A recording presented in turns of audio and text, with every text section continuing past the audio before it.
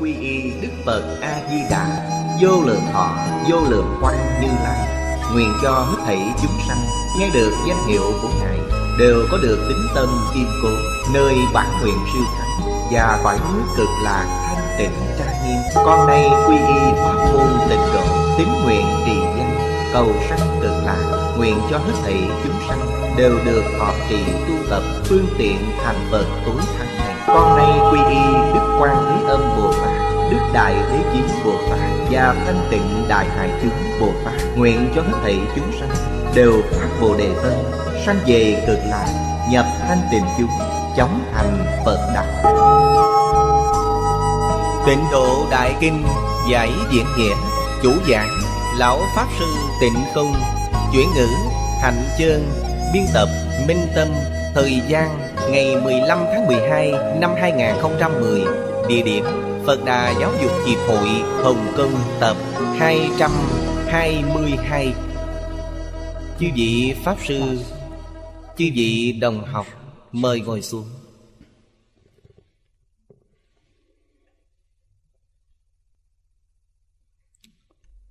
Mời quý vị xem Đại Thừa Vô Lượng Thọ Kinh Giải Trang 272 Trang 272 Bắt đầu xem từ giữa hàng thứ hai. Bắt đầu xem từ giữa hàng thứ hai.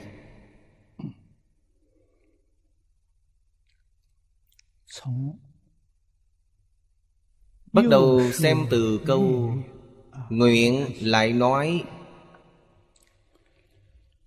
Tất cả chúng sanh Nếu nghe tiếng ta Tiếng tức là danh hiệu Phát nguyện Muốn sanh về Thị giới ta.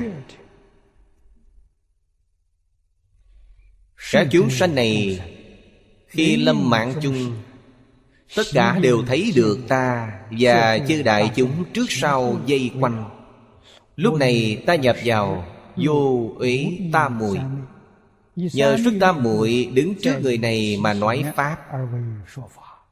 Nhờ nghe Pháp mà đoạn trừ tất cả khổ não, Tâm đại quan hỷ. Tâm họ quan hỷ, Nên được Bảo chân tam muội Nhờ xuất tam muội Khiến tâm được niệm Và vô sanh nhận Sau khi mạng chung nhất định sanh vào nước ta,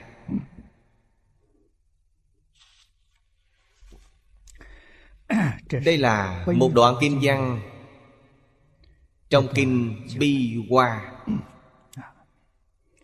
Nói rõ về Tình trạng Người niệm Phật khi giảng sanh. Trong này nói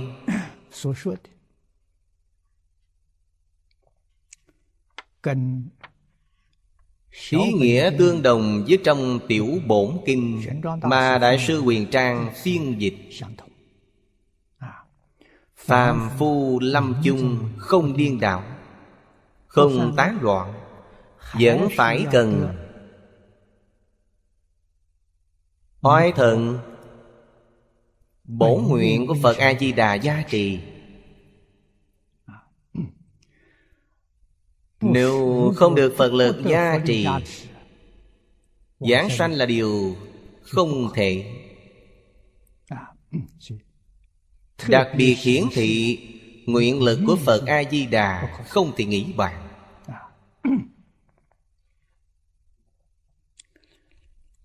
Tất cả chúng sanh Là nói về chúng sanh giảng sanh. Điều kiện giảng sanh Hoàn toàn Ở tính tâm Nguyện tâm. Tinh thật Muốn đi. Điều kiện này sẽ đầy đủ. Nói thì dễ. Nhưng người tin thật Muốn đi quá thật không nhiều Nếu như không tin Ta có thể làm trắc nghiệm. Quý vị nói niệm Phật đường này của tôi. Niệm Phật 7 ngày là giảng sanh Không cần nói nhiều 7 ngày giảng sanh Triệu tập mọi người đến niệm Phật. Quý vị xem có thể triệu tập được mấy người? Đồng nghĩa là nói với mọi người Đến chỗ này của tôi là 7 ngày sau phải chết. Như vậy có ai dám đến? Bởi vậy Miệng nói giảng sanh thì dễ Nhưng thật sự giảng sanh sẽ khiến mọi người sợ hãi. Không dám đi. Đây là thật. Từ đây chúng ta có thể hiểu. Người tin thật Muốn cầu giảng sanh quả thật không nhiều. Bởi vậy Đệ tử chân chánh của Phật không nhiều Giả nhiều hơn Bồ Tát thật cũng ít. Bồ Tát giả rất nhiều Khắp nơi đều có. Trong xã hội hiện tại của chúng ta Chúng ta không thể không biết. Quan trọng là Hồi quan phản chiếu. Nghĩ lại xem mình là thật hay là giả. Mình thuộc bên nào? Điều này rất quan trọng. Làm sao để nhận ra? Nếu là thật họ đã buông bỏ tất cả Chỉ cần có một vài điều chưa buông bỏ Đó không phải là thật. Điều này rất dễ nhận ra. Trong cuộc sống hàng ngày Ta xem họ nghĩ gì? Họ nói những gì? Nếu con nghĩ đến những chuyện không liên quan Và nói những điều không liên quan Như vậy là không phải thật. Thật thì sao? Họ chỉ nghĩ đến một điều. A-di-đà Phật Quý vị hỏi họ còn nghĩ gì khác nữa chăng? Không có. Không có ý niệm nào khác. Ngoài câu A-di-đà Phật Mọi sự, mọi cảnh, mọi duyên khác đều tùy duyên. Không có gì không tốt.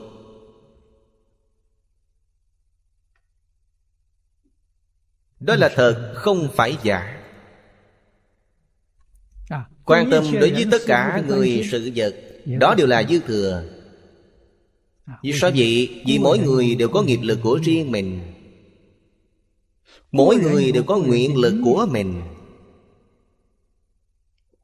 Sức mạnh nào lớn? Nếu nghiệp lực mạnh hơn nguyện lực Như vậy quý vị tiếp tục trôi lăn trong luân hồi. Niệm Phật cũng không được Cũng không thể giảng sanh. Nếu nguyện lực thật sự muốn đi Mạnh hơn nghiệp lực. Như vậy chắc chắn giảng sanh. Quyền thao túng này đều ở trong tay mình Không phải do người khác. Không phải A-di-đà Phật làm chủ Phật A-di-đà đến tiếp dẫn ta. Điều kiện vẫn là bản thân ta đồng ý hay không?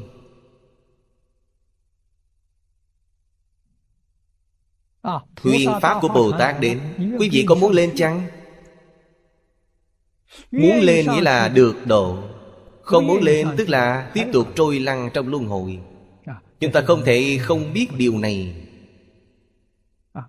Pháp thế gian, Pháp xuất thế gian Đều do mình thao túng. Đạo lý này không thể không biết. Phật Bồ Tát không làm chủ được. Thượng Đế cũng không làm chủ được. Vua Diêm La cũng không làm chủ được Ai làm chủ? Chính mình làm chủ. Đây mới là thật. Trong kinh điển Đức Thế Tôn luôn nhắc nhở chúng ta.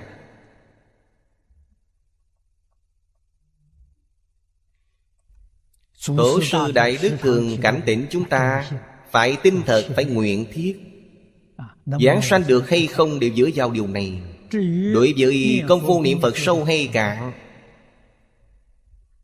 Công phu niệm Phật sâu hay cạn Không phải niệm Phật nhiều hay ít. Không liên quan đến điều này.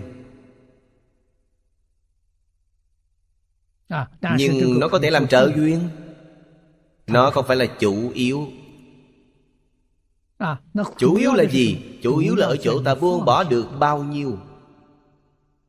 Điều này quan trọng. Nếu thật sự Tất cả Pháp thế xuất thế gian đều buông bỏ hết Nhất tâm cầu sanh thế giới cực lạc. Một ngày niệm một câu Mười câu đều được. Đều không ít. Đây quả thật như Các bậc tổ sư nói Một niệm tương ưng một niệm Phật. Một niệm đó của họ tương ưng với Phật A-di-đà. Chúng ta niệm một dạng câu Niệm mười dạng câu chưa chắc tương ứng Người ta niệm một câu tương ứng Cho nên hiệu quả rất thù thắng. Đạo lý là như vậy. Câu tất cả chúng sanh này Phạm vi bao gồm rất rộng. Người giảng sanh đến thế giới cực lạc Chúng ta biết. Hàng thượng thượng thừa là Bồ Tát Hàng hạ hạ căn đó là những chúng sanh Tạo tội ngũ nghịch thập ác. Trong kinh nói với chúng ta Chỉ cần họ tin Thực hành đều có thể giảng sanh. Ngũ nghịch thập ác đều có thể giảng sanh. Ở trước chúng ta đã học Cho nên phạm vi này rất rộng. Tất cả chúng sanh. Nếu nghe tiếng ta Tiếng tức là danh hiệu. Giả dụ quý vị nghe một câu Nam Mô A Di Đà Phật. Trên thực tế danh hiệu chính là A Di Đà Phật. Nam Mô không phải danh hiệu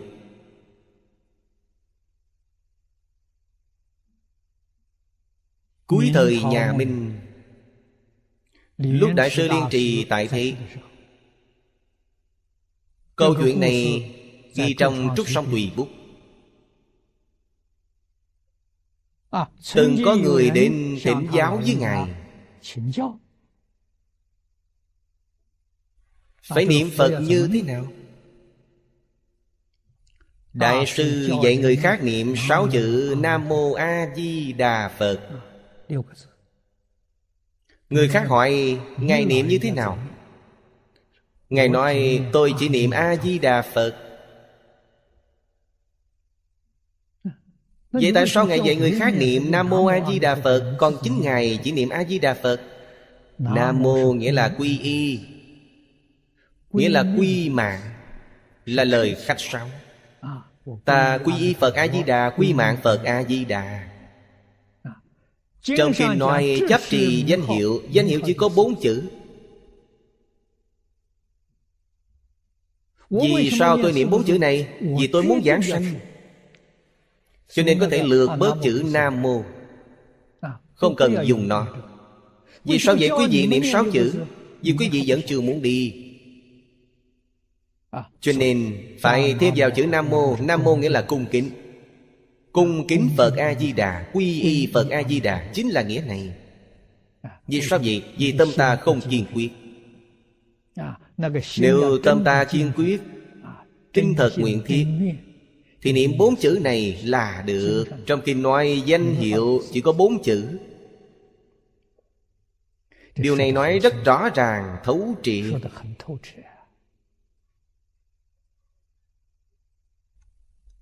Chúng ta phải tự đo lường chính mình. Bản thân thật sự hạ quyết tâm đi. Chỉ cần bốn chữ này càng đơn giản càng tốt.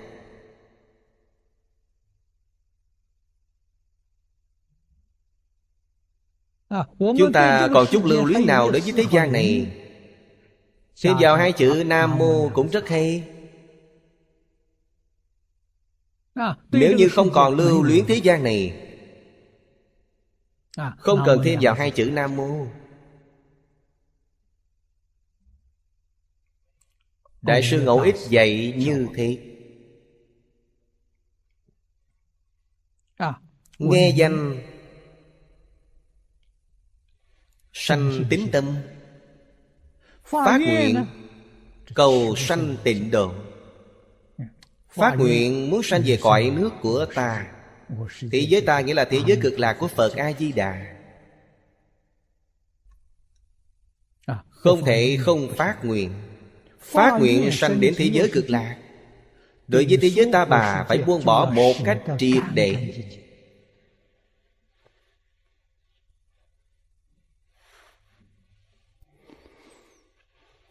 Ở thế giới ta bà,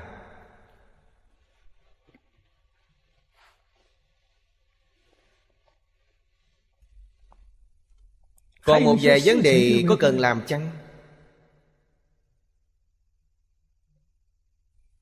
Điều này cần phải học chư Phật Bồ Tát. Trong kinh điển Đại Thừa nói với chúng ta Phật Pháp ở thế gian Không lìa thế gian giác Trong kinh A Nan Giáng sự Phật Thiết Khung Đức Phật dạy chúng ta Đệ tử Phật Có thể được gì việc thế gian? Không thể được gì ý thế gian Khai thị này quá hay. À, Đệ tử Phật có thể làm việc thế gian Nhưng không được có ý. Ý là gì? Ý nghĩa là tự tư tự lợi Danh gian lợi dưỡng. Có phân biệt chấp trước. Đây là ý thế gian. À, Nếu có những thứ này Khi khởi tâm động niệm Ngôn ngữ tạo tác gọi là tạo nghiệp Tạo nghiệp gì? Tạo nghiệp thiện ác Tạo thiện nghiệp Quả báo ở trong ba đường lành. Tạo ác nghiệp Quả báo ở trong ba đường ác. Không ra khỏi luân hồi lục đạo. Nghiệp lực nặng Sức giận rất lớn. Khi lâm mạng chung Phật A-di-đà đến tiếp dẫn.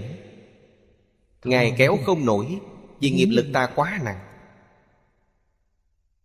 trong kinh này nói rất nhiều Tâm Phật chúng sanh. Ba thứ này đều bình đẳng. À, Chúng sanh chính là nói nghiệp lực của chúng sanh. À, Sức mạnh của Phật Sức mạnh của tâm Nghiệp lực của mình.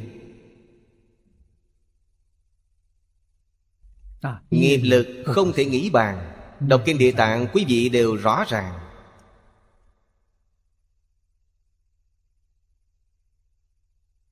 Nghiệp lực từ đâu mà đến? Chính là do ta có ý thế gian. Ý thế gian Chúng ta dùng một câu đơn giản để nói Ta đối với thế gian này Vẫn còn phân biệt Vẫn còn chấp trước. Đây là ý thế gian. À, Không còn chấp trước Không còn phân biệt. Thấy mọi người đều là người tốt Mọi việc đều là việc lành. Làm việc tốt cũng là việc tốt. Làm việc xấu cũng là việc tốt. Như vậy nghĩa là hoàn toàn buông bỏ ý thế gian Tâm thanh tịnh. À, Không còn bị cảnh giới bên ngoài làm ô nhiễm. à, Cảnh giới bên ngoài vừa động Tâm mình liền động. Như vậy rất thiệt thòi. Bởi vậy những giáo huấn trong kinh điển Lợi ích hơn bất kỳ điều gì Chúng ta tu hành mục đích là của tịnh độ tông. Mục đích hiện tại là gì? Tu như thế nào? Là tu tâm thanh tịnh Tu tâm bình đẳng Tu tâm giác. Tức trên đề kinh này nói Thanh tịnh bình đẳng giác.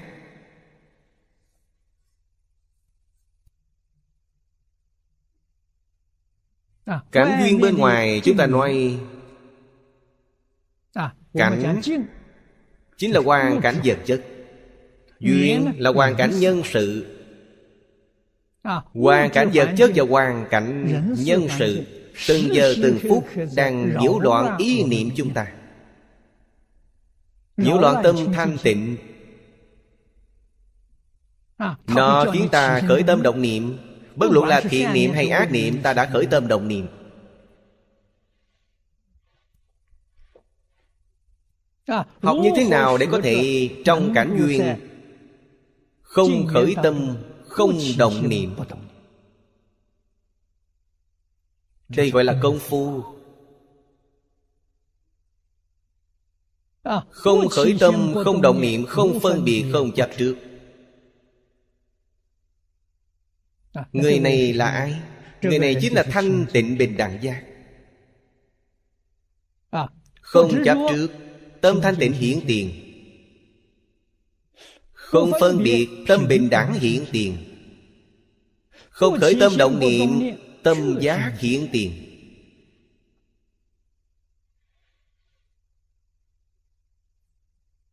Chúng ta tu hành có công phu gì? Cảnh giới bên ngoài vừa động Tâm chúng ta liền chuyển động theo.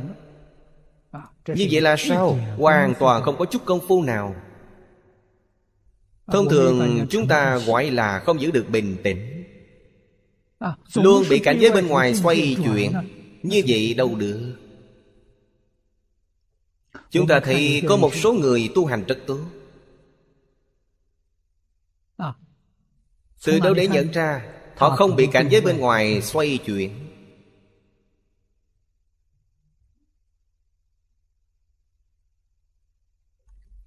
Cảnh giới nhỏ giống như không có chuyện gì xảy ra. Cảnh giới lớn đôi lúc động một chút. Động một chút họ lập tức quay đầu. Đó là gì? Đó là đang thử thách chúng ta. Tránh cảm giác rất cao. Sao lại động tâm? Sao lại bị cảnh giới chuyển Lúc này phải sám trừ nghiệp chướng. Dùng phương pháp gì để sám trừ. Niệm Phật A-di-đà Sẽ sám trừ được nghiệp chướng. Bởi vì trong tâm chỉ có Phật A-di-đà Ngoài Phật A-di-đà ra không còn ý niệm nào nữa. Như vậy là thành công. Đã thành tựu tịnh nghiệp. Người thành tựu tịnh nghiệp Có thể giảng sanh bất kỳ lúc nào. Thật sự được tự tại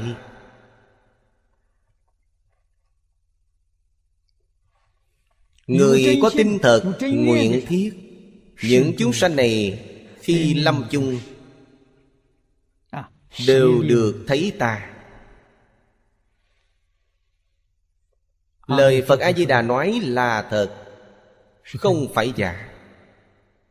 Khi lâm mạng chung nhất định thấy Phật A-di-đà.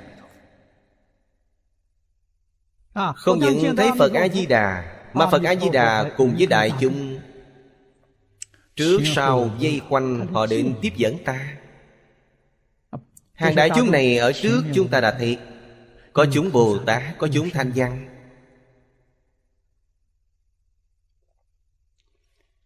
Vì sao hàng đại chúng này theo Phật đến tiếp dẫn chúng ta? Ở trước chúng ta đã lộ ra một tin tức Là người có nhân duyên với mình. Từ vô lượng kiếp quá khứ đến nay Họ đã niệm Phật Sanh đến cõi tịnh độ từ lâu. Bây giờ chúng ta đến đó Họ đều nhìn thấy. Tất cả cùng đi với Phật A-di-đà Đến nghênh đó. Giảng sanh thế giới cực lạc. Đừng tưởng rằng ở đó rất xa lạ. Đến đó không có người bạn nào. Như vậy là sai Khi đến thế giới cực lạc Bất luận là bằng hữu trong cõi nào Từ vô lượng kiếp đến nay Đều đến Rất náo nhiệt. Thế gian này không thể sánh được. Đều đến tiếp dẫn. Bồ Tát Thanh Văn Duyên Giá Thiên Nhân Đi cùng Phật đến tiếp dẫn. Tất cả đều là người có duyên. Họ đều đến Họ đều đi quan nghênh ta. Ta trở về thế giới cực lạc là trở về quê hương. Lúc này ta nhập. Vô ý tam muội. Xem tên của tam muội là hiểu ý nghĩa của nó. Ý là mắt có khuyết điểm Sáng suốt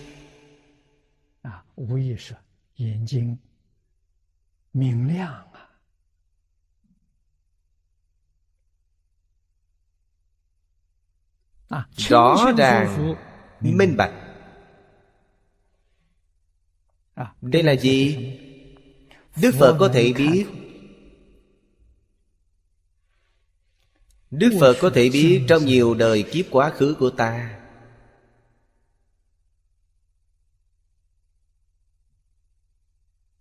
Khởi tâm động niệm Ngôn ngữ tạo tác Ngài đều biết hết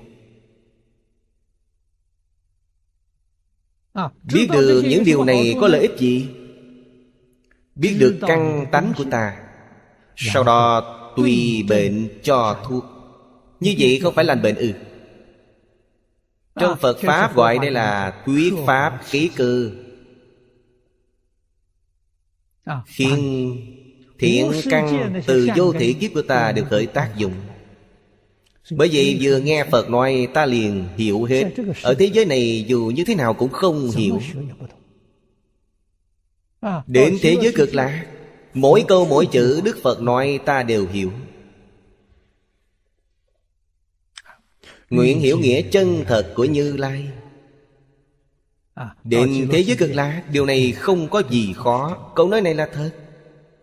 Ở thế gian chúng ta Câu nói này quả thật không đơn giản Đức Phật thuyết Pháp cho chúng ta. Chúng ta nghe được Xem bên dưới chính là hiệu quả. Tâm là rất nhanh. Có thể đoán trừ tất cả khổ nào. Như thế nào? Nghiệp chướng tiêu trừ. Nghe Phật thuyết Pháp. Nghiệp chướng tiêu trừ. Như vậy Mới trở thành A Duy Diệt Trí Bồ Tát Nếu nghiệp chướng không tiêu trừ Làm sao có thể đạt đến cảnh giới này?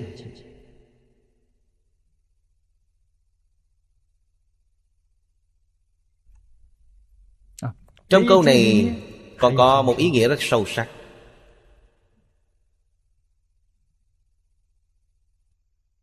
Bổn nguyện của Phật Là giúp tất cả chúng sanh lìa khổ được vui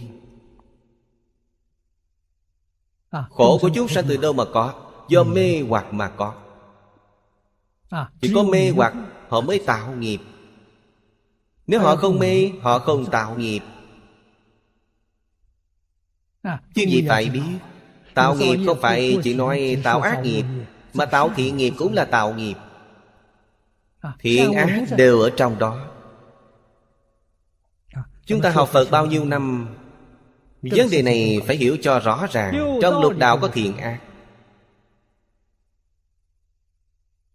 Thiện nghiệp là ba đường lành Ác nghiệp là ba đường ác. Trong tứ thánh pháp giới không có thiện ác. Cho nên họ không có đường thiện và đường ác. Thiện ác dị biên họ đều lìa xa. Cho nên họ tu là tịnh nghiệp Tứ thánh pháp giới gọi là tịnh độ Tịnh độ này so với lục đạo. Lục đạo là ô nhiễm Nó là thanh tịnh. Bởi vậy phải nhớ Ác là ô nhiễm. Thiện cũng là ô nhiễm. Bồ Tát hiện thân thuyết Pháp Dạy chúng ta Là mô phạm cho chúng ta. Họ tạo ác. Trong tâm không để lại dấu vết Không có ô nhiễm. Tạo thiện nghiệp cũng không để lại dấu vết đây gọi là gì? Gọi là tam luân thể không. Căn bản trong tam luân thể không.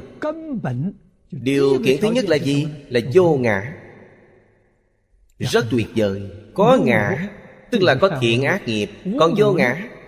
Vô ngã ai tạo thiện ác nghiệp? Ta đọc Kim Kim Cang Thì nửa bộ trước của Kim Kim Cang trong Kim Kim Cang Vô ngã tướng, vô nhân tướng, vô chúng sanh tướng Vô thọ giả tướng. Ai chứng được? Tu Đà Hoàng chứng được.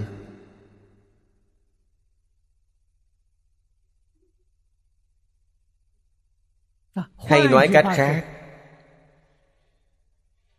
Phá được ngã tướng Là vào cửa Phật. Không còn tạo nghiệp có ngã tức là tạo nghiệp Vô ngã là không tạo nghiệp. Vô ngã ai tạo nghiệp? Nhất định phải biết Thân không phải là ta. Không những thân không phải ta Mà tâm cũng không phải là ta. Tâm là gì? Là vọng tâm. Vọng tâm cũng không phải là ta. Chân tâm mới là ta. Chân tâm đầy đủ vô lượng trí tuệ đức tướng Vọng tâm không có Vọng tâm từ đâu mà có? Vọng tâm do vọng tưởng sinh ra. Nói cách khác là do phân biệt chấp trước sanh ra. Phân biệt là đệ lục ý thức. Chấp trước là đệ thất mạc na thức. Mạc na là ý nhiễm ô. Mạc na là ô nhiễm.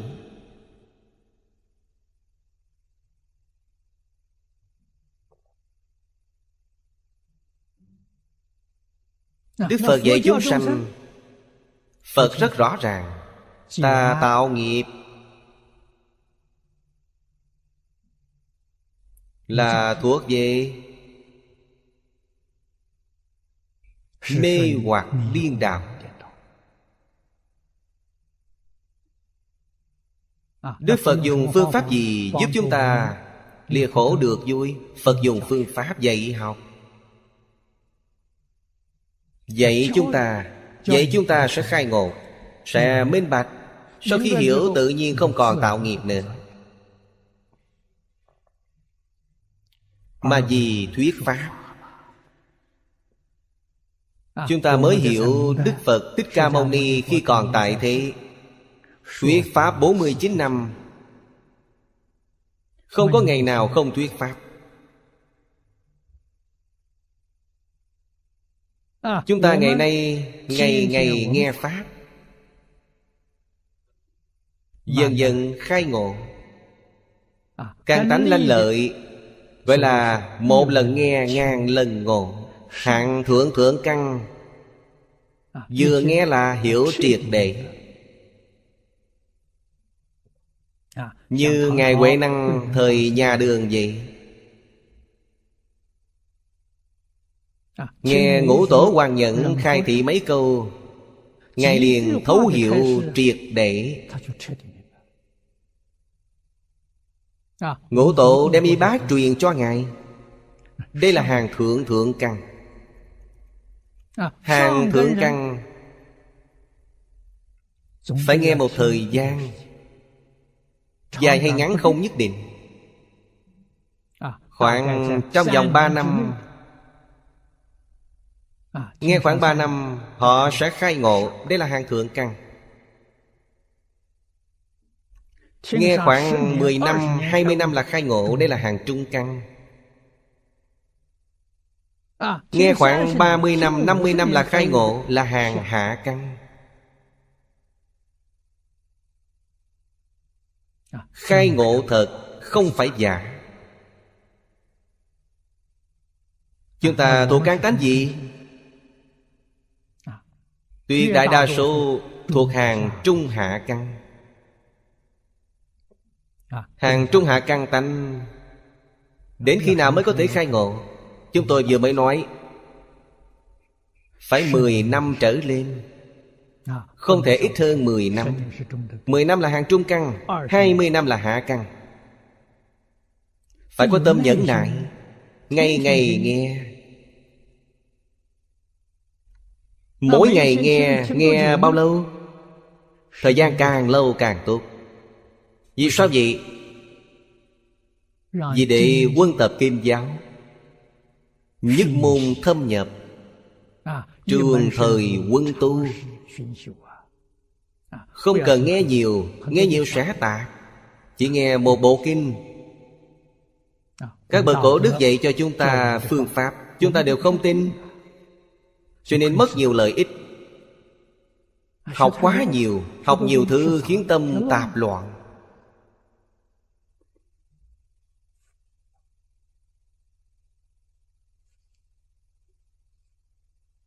Buông bỏ kinh sách là suy đông nghĩ tây. Hư hỏng là ở đây. Nếu thâm nhập một môn, Ngày ngày chỉ nghĩ đến một thứ. Một bộ kinh. Dài hay ngắn không sao. Ngắn một chút như Kinh A-di-đà không dài lắm. Suốt đời chỉ thọ trì Kinh A-di-đà Một ngày đọc 30 biến, 50 biến. Trường thời quân tu. Hàng căn tánh bậc trung đọc 10 năm sẽ khai ngộ. Đường niệm Phật ta muội. Được khai ngộ. Hàng hạ căn Quân tập 20 năm chắc chắn khai ngộ.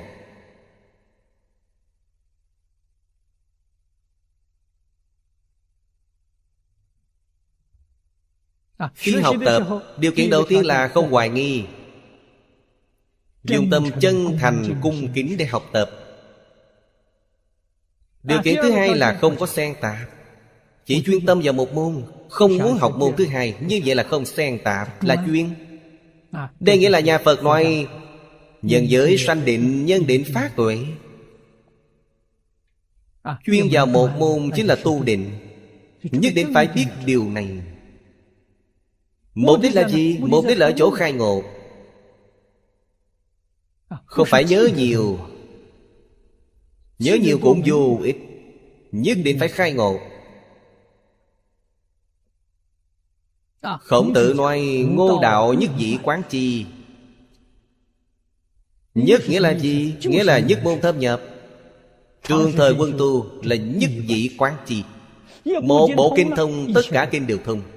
Đây là nhà Phật thường nói Bộ kinh thông tất cả kinh thông. Đây gọi là nhất dĩ quán chi. Điều này người thông thường người ta không tin. Họ cảm thấy học một thứ không đủ Phải học rộng nghe nhiều Không tuân thủ giới luật. Nhất môn tham nhập trường thời quân tu là giới luật. Ta không tuân thủ giới luật. Học rất nhiều thứ Học rất tạp, rất loạn.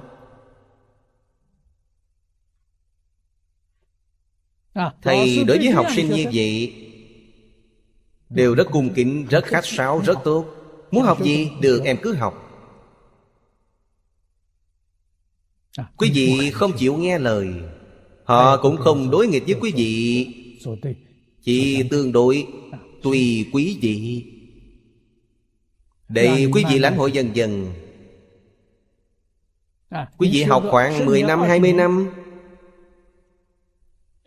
Phiền não vẫn không thể đoán trừ. Lúc này chắc quý vị giác ngộ được Phiền não vẫn giống như lúc chưa học Phật Thậm chí còn nhiều hơn trước. Điều này chứng minh Phật Pháp quý vị học được đều uổng phí. Chỉ học được Phật Pháp ngoài miệng Không hề đem đến lợi ích. Được lợi ích chính là phiền não nhẹ Trí tuệ tăng trưởng. Đây là được lợi ích. Phiền não mỗi ngày một ít Mỗi năm một ít đi. Tâm quý vị mỗi năm mỗi thanh tịnh hơn Mỗi năm mỗi bình đẳng hơn. Như vậy là công phu thành tựu.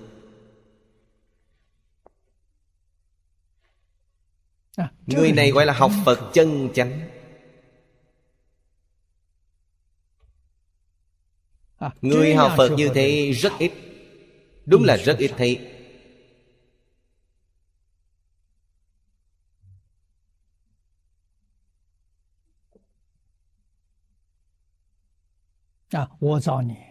Trước đây lúc tôi còn trẻ Theo học kinh điển với thầy Lý Thầy tổ chức một lớp học giảng sư Chính là dạy giảng kinh. Thầy có hai lớp Một lớp dạy diễn giảng Một lớp dạy giảng kinh. Hơn 30 học sinh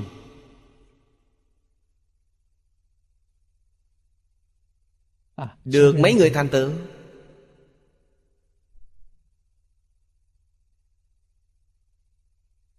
Đối với học sinh biết nghe lời Thầy không khách sáo. Có đánh quá mắng. Thầy cũng đánh người.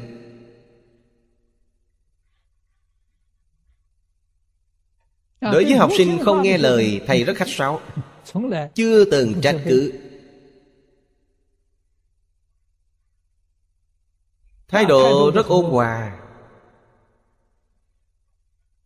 Chúng tôi trẻ tuổi không hiểu chuyện.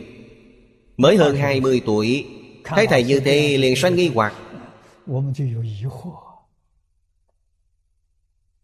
Lại không dám hỏi Nhưng lâu ngày thầy nhận ra điều đó. Kêu tôi đến phòng Nói điều này cho tôi nghe. Thầy biết tôi có nghi hoặc Thầy nói người không thể tiếp thu. Giáo huấn kinh điển Không nghe lời.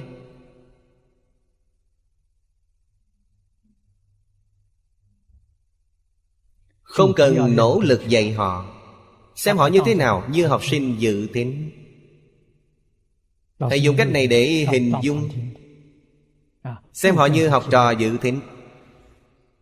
Không kết oán thù với họ Nếu mắng họ ghi hận trong lòng. Nếu đánh họ sẽ báo thù. Như vậy không phải rất phiền phức ư Oan oan tương báo không bao giờ dứt. Bởi vậy đối với học trò không nghe lời Thầy rất khách sáo, rất quan hỷ.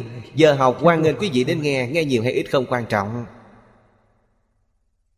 Người thật sự muốn học Dù đánh mắng cũng cảm ơn. Người đó nhất định phải đánh Nhất định phải mắng. Họ sẽ cảm ơn Vì họ muốn học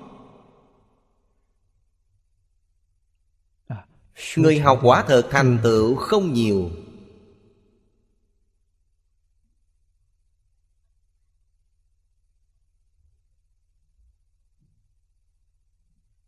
Nếu miễn cưỡng cũng coi như có chút thành tựu.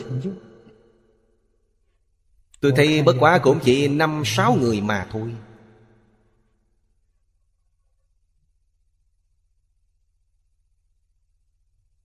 Thầy dạy trong một phòng học. Những gì mọi người đạt được đều là bình đẳng.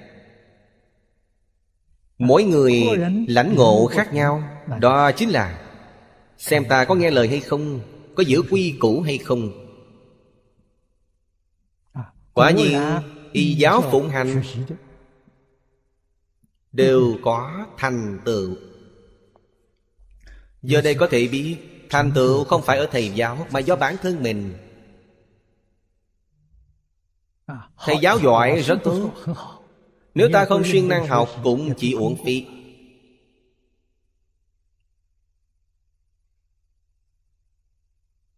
Thầy từng nói với tôi, Học trò muốn tìm một thầy giáo tốt không dễ, Có thể gặp mà không thể cầu. Trái lại Thầy giáo muốn tìm một học trò giỏi. Còn khó hơn học sinh muốn tìm thầy giáo giỏi. Đến đâu để tìm? Thầy rất muốn có học sinh giỏi. Vì sao vậy? Vì như thế đạo có người truyền thừa.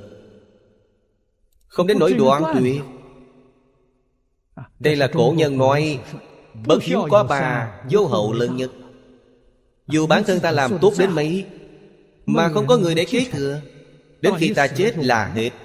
Thành tích đó đồng nghĩa với con số không. Vì ta không có truyền thừa Giờ đây chúng ta có thể hiểu. Một người thầy giỏi Họ yêu học sinh. Hy vọng học sinh thành tựu. Không những hy vọng học sinh thành tựu Mà còn hy vọng học sinh giỏi hơn mình. Đây là thật Từ kinh nghiệm của lịch sử Chúng ta sẽ hiểu. Nếp sống xã hội ngày càng đi xuống Đời này không bằng đời trước. Thời đại chúng tôi giảng kinh dạy học cho các vị đồng học hiện nay. Năng lực học của chúng tôi có thể ứng phó. Nhưng quý vị phải biết ta không ứng phó được đời sau Vì sao vậy? Vì đời sau bị ô nhiễm còn nặng nề hơn. Thời đại hiện đại nhiều. Hiện nay nói cách khác. Trí tuệ quý vị không hơn tôi Năng lực không hơn tôi. Như vậy thì không thể dạy được đời tiếp theo.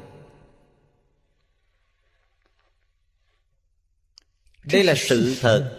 Là hiện tượng bày ra trước mắt Ta không thể không thừa nhận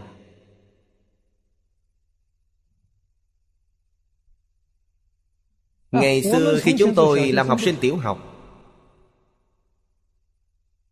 Ít khi nghe thầy giáo nói học sinh rất khó dạy Khi chúng ta làm con cái Cũng không nghe có ai nói con cái không nghe lời.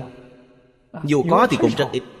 Hiện nay rất phổ biến Chúng ta thấy rất nhiều gia trưởng khi gặp mặt Họ đều là Phật tử Nói rằng con cái không biết nghe lời. Gặp các thầy cô giáo cũng nghe họ than giảng Học sinh không biết giữ phép tắc. Nghĩa là sao? Tức là đời này không bằng đời trước. Nhĩ mô ngày càng nghiêm trọng.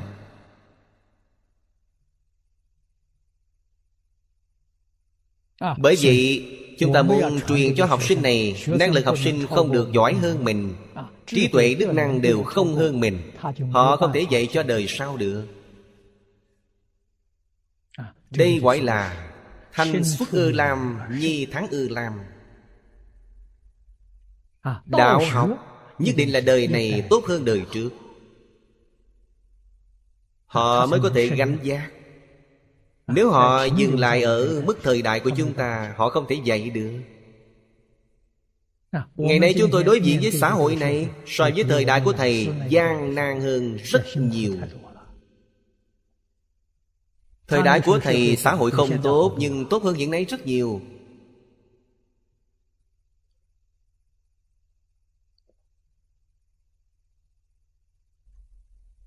Hiện tượng thực tế bày ra trước mắt chúng ta Chúng ta phải quan sát lãnh hội tương tận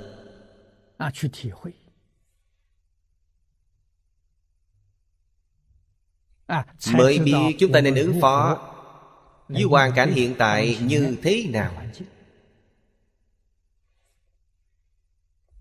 Giúp chúng sanh phá mê khai ngộ. Dạy học ngày nay nhất định phải làm gương. Điều này lúc thế tôn còn tại thì đã làm mô phạm cho chúng ta bản thân không làm được làm sao có thể dạy người khác? Chúng ta thử nghĩ xem đức phật thích ca mâu ni xuất thân là dương tử phụ thân là quốc dương. Nhưng bản thân sống cuộc sống như thế nào sống cuộc đời của một vị tăng khổ hạnh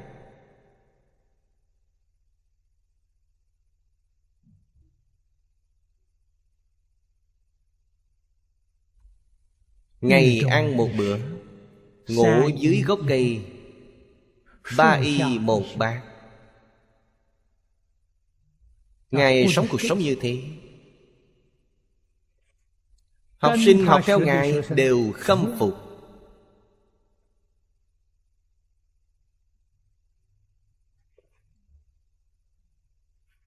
Ngài dạy chúng ta phải buông bỏ. Bản thân Ngài đã triệt để buông bỏ Nếu vậy chúng ta buông bỏ Mà bản thân Ngài không buông bỏ Như vậy không được. Đó không phải thật. Ngài buông bỏ hoàn toàn. Niệm niệm Nhớ đến chúng sanh không nghĩ đến mình. Đích thực đã đạt đến vô ngã. Tâm lượng lớn Tâm bao thái hư lượng châu xa giới.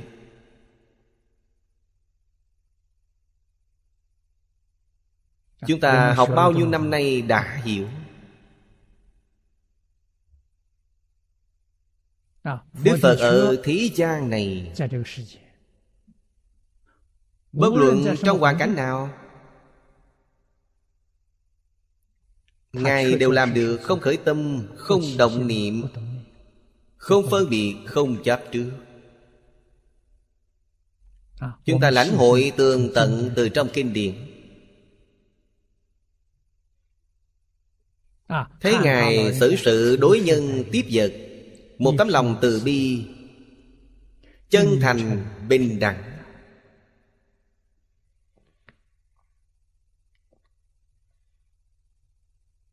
À, thế tôn thể hiện cho chúng ta thấy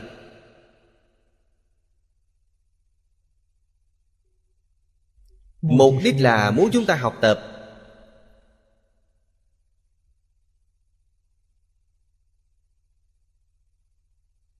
À, Học tập ngôn hành nhất trí.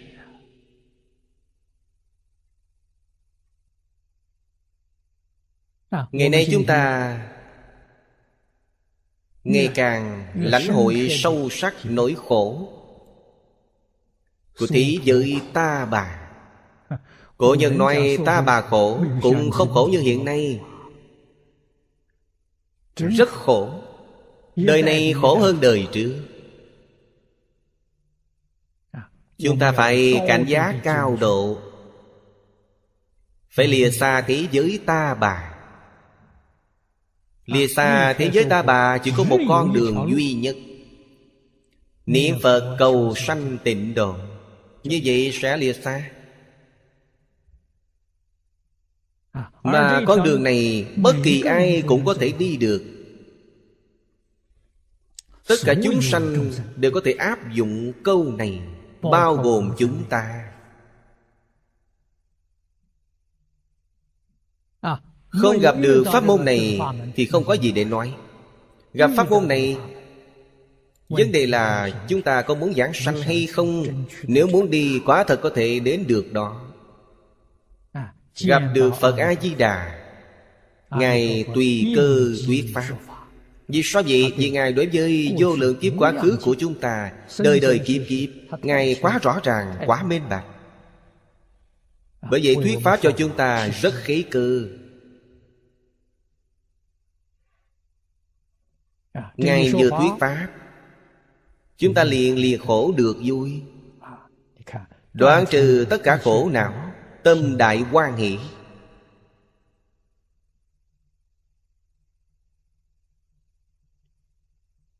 Khổ não là gì?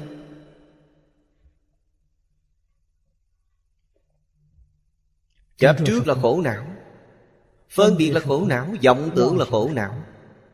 Đoạn tận tất cả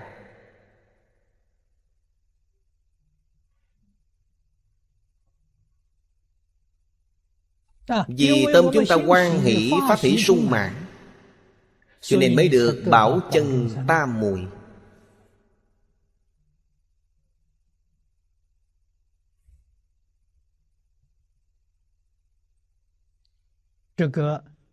Trong kinh Vô Lượng Thọ Đức Phật nói Giảng sanh thế giới Tây Phương Cực Lạc Được ba loại nhận Trong ba loại này quan trọng nhất là vô sanh pháp nhẫn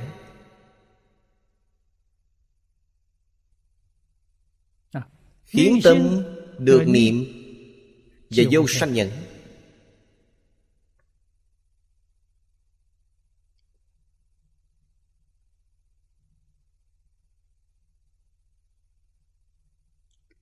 Khiến tâm được niệm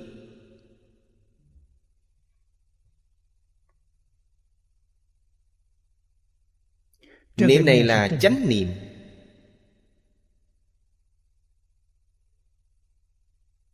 Lúc đó phạm phu là tà niệm. Không phải chánh niệm. Niệm này là chánh niệm của Như Lai.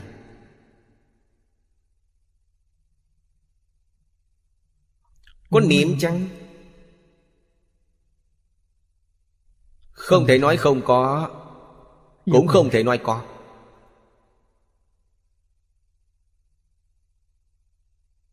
Câu này rất quan trọng.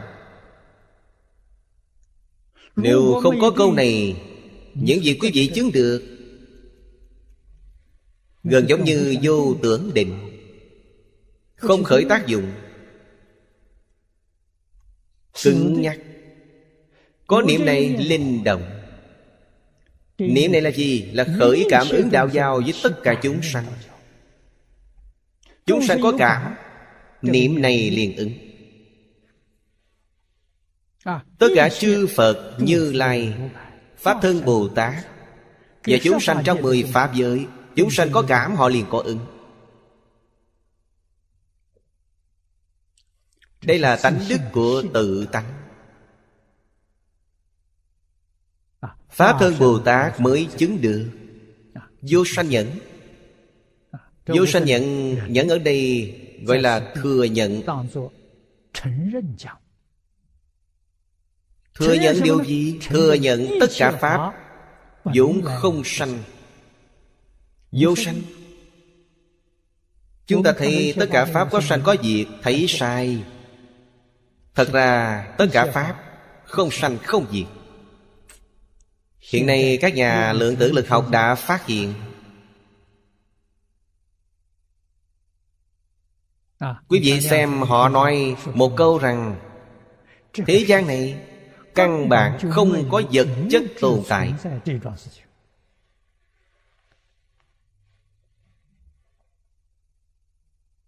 Họ không thừa nhận có vật chất. Vậy vật chất là gì? Là hiện tướng do ý niệm biến hiện Tích lũy liên tục mà sanh ra. Nó không phải thật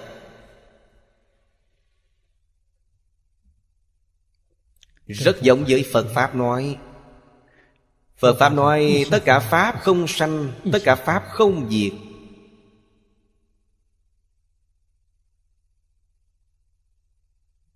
À, Ai có thể thấy được? Bồ Tát chứng được vô sanh nhận thấy được. À, Vô sanh nhận phải thất địa Bồ Tát trở lên. Đó là Đại Bồ Tát. à, Định công của họ Chính là tam muội lực. Tam muội lực tức là định công. Họ thấy được. À, Các nhà khoa học dùng máy móc quan sát được. À, Cho nên những gì khoa học đạt được là tri thức. Chứng được tam muội là trí tuệ. Trí tuệ có đức dụng. Đức dụng viên mãn Tri thức không được. Tác dụng của tri thức rất có hạn lượng. À, Mà còn có tác dụng phụ. Trí tuệ không có tác dụng phụ. Bởi vậy trí tuệ có thể giải quyết mọi vấn đề. Giải quyết vấn đề gì? Giải quyết vấn đề phiền não. À, Tri thức không thể giải quyết phiền não. Trí tuệ có thể giải quyết phiền não Thật sự khiến ta đoạn phiền não Chứng bồ đề. Đây là điểm khác biệt giữa trí tuệ và tri thức.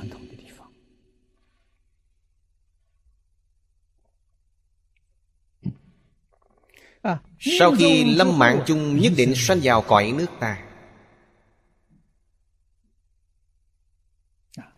Những gì ở trước Là nói với chúng ta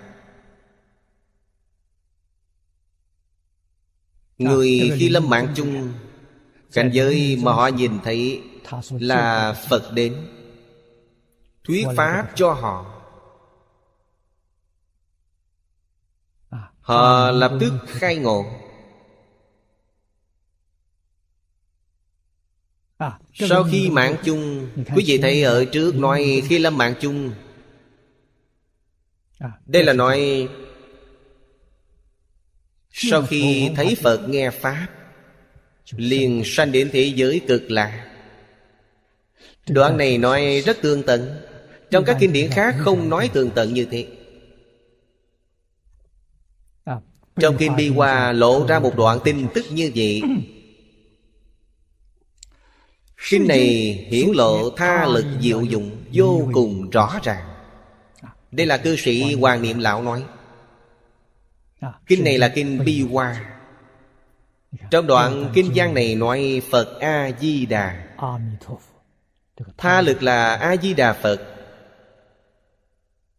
Oai thần bổ nguyện là lực dụng. À, Nói cực kỳ rõ ràng. Minh bạch. Kinh Xưng Tán Tịnh Độ Chính là Kinh A-di-đà Do Đại sư Quyền Trang phiên dịch. Là tiểu bổn kinh này. Kinh Bi Hoa nói Di đà nhân địa Và cực lạc trang nghiêm.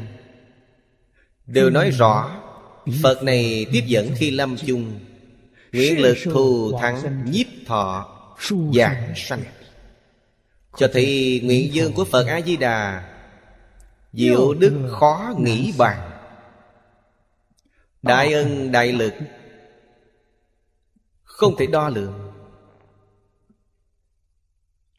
Từ kinh A-di-đà của Ngài Quyền Trang phiên dịch Và đoạn khai thị trong kinh văn của kinh Bi Hoa.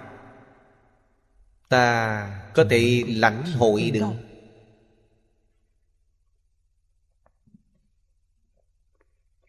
Người niệm Phật.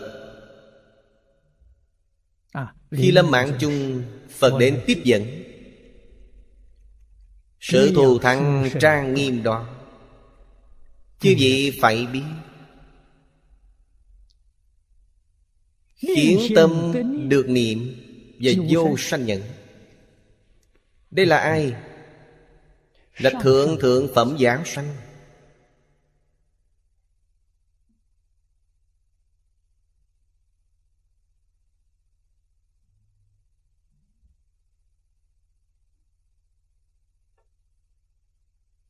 Khoảng mức độ nào chúng ta có thể lãnh hội được?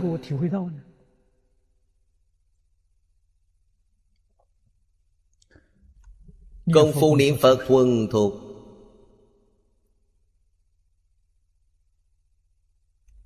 Khi lâm mạng chung không hề bệnh hoạn Không có bệnh khổ Biết trước giờ chết. À, Giảng sanh tử tại. Người như vậy có thể lãnh hội được. à, Cũng chính là như thế nào Bình thường niệm Phật Nghiệp chướng của họ tiêu trừ. Nên khi mạng chung được đại tự tại như thế Đây là mong muốn của chúng ta.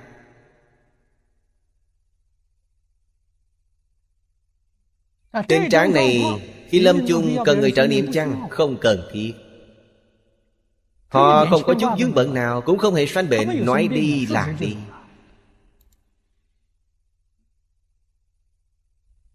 Tình hình họ ra đi nhất định giống như trong kinh Bi Hoa nói. Đây là thượng thượng phẩm giảng sanh. À, Sanh đến thế giới cực lạ Là hoa nở thấy Phật ngộ vô sanh. À, Ai làm được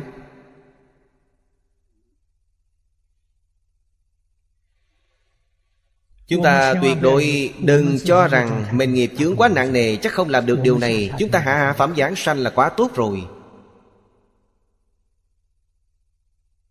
Quan niệm như thế là sai lầm. Các bậc cổ đức đích thực Ở trước chúng ta đã học. Có người nói, Thượng bối giảng sanh là Bồ Tát. Trung bối giảng sanh Là A-la-hán Là Bích Chi Phật. Phàm phu giảng sanh chỉ ở hạ bối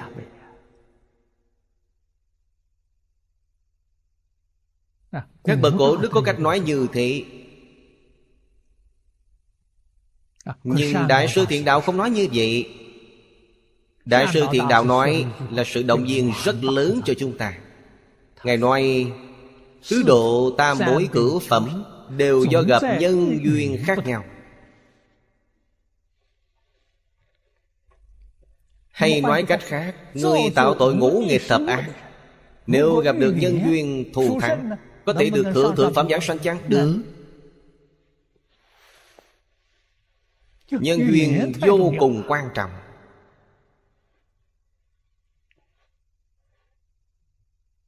À, Gặp được thiện hữu tri thức Gặp được pháp môn này Nhân duyên của chúng ta thù thắng vô cùng.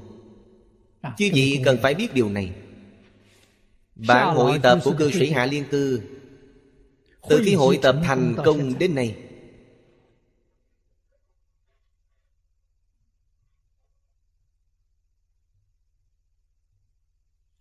Khoảng 8 đến 10 năm. Không phải quá lâu xa Nhưng sự lưu thông của nó. À, Chúng ta đã gặp được à, lão 人家 Ông dùng tâm huyết cả cuộc đời Để hội tập bộ kinh này. Sau khi kháng chiến thắng lợi mới bắt đầu lưu thông. Số lượng lưu thông rất ít.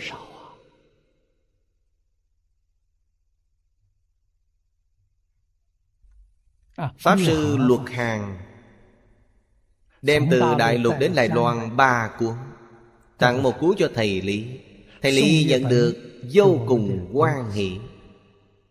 À, Đặc biệt là bài tựa rất dài Ở trước là do ông Mai Quang Hy Thầy của thầy viết. Thầy Lý học Phật Pháp với thầy Mai. Đọc bài tựa của thầy Mai viết Thầy Lý cảm thấy rất thân thiết. Ở Đài Loan Từng ấn tống hai lần. Số lượng không nhiều. Theo tôi dự đoán Mỗi lần ấn tống khoảng một ngàn cuốn In ở Đài Loan tổng cộng không quá ba ngàn cuốn Tôi có ấn tống một lần được một ngàn cuốn Thầy ấn tống khoảng hai lần Lưu thông với số lượng lớn Là sau khi thầy Lý giảng sanh.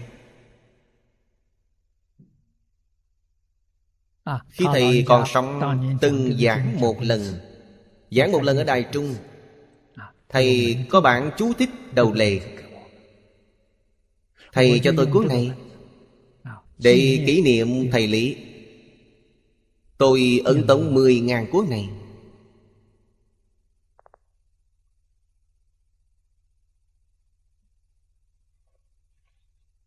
Ở Mỹ Tôi gặp cư sĩ Hoàng Niệm Tổ Chỉ nói qua điện thoại Chưa từng gặp mặt. Vì thời gian ông ở Mỹ rất ngắn Chỉ ở được một tháng thì ông trở về Bắc Kinh. À, Ông chỉ mang theo một cuốn. À, Chính là bản chú giải Đại Kinh này. Chỉ mang theo một cuốn Và tặng cho tôi. À, Bản in dầu. Không phải sắp chữ là in dầu. Viết bằng bản thép in dầu. Tôi nhận được quan hỷ vô tận. À, Liền gọi điện hỏi Ông có bản quyền chăng? Nếu có bản quyền thì thôi Nếu không có bản quyền Tôi đem về Đài Loan. Đài. Làm thành bản ấn tống ra. Ông nói không có bản quyền à, Hoan nghênh in ấn lưu thông. Chúng tôi đem chú giải của ông về Đài Loan. In 10.000 cuốn. Bản đầu tiên in 10.000 cuốn. Về sau không biết tái bản bao nhiêu lần? Quá nhiều. Chắc phải in đến mấy mươi bản. Số lượng đều rất nhiều. Trong nước và nước ngoài đều lưu thông. À, sau đó tôi đến Bắc Kinh thăm Hoàng Niệm Tổ. Gặp ông nói đến bộ kinh này. Tất cả chúng sanh chín ngàn năm Trong thời kỳ mạt Pháp Có thể được đổ thành Phật ngay trong đời này. Đều nhờ vào Pháp môn này. Bộ kinh này. Bộ kinh này các bậc cao tăng trước. Chúng ta chưa từng thấy. những gì họ thấy là năm loại nguyên bản dịch không thấy được bản này. đại sư ấn quang cũng chưa thấy. Quý vị nói chúng ta hạnh phúc biết bao gặp được nhân viên thù thắng biết bao. Không có bộ kinh này Bản hội tập này Không có chú giải của cư sĩ Hoàng Niệm Tổ Nếu chúng ta không đọc kinh Bi Hoa, Làm sao biết được đoạn kinh văn này? Niệm lão chú giải bộ kinh này, Tham khảo hơn 190 loại kinh sách. Chúng ta đọc chú giải này Đồng nghĩa với đọc hơn 190 loại kinh luận. Nhân duyên này thù thắng biết bao. Đúng là trăm ngàn dạng kiếp khó gặp được.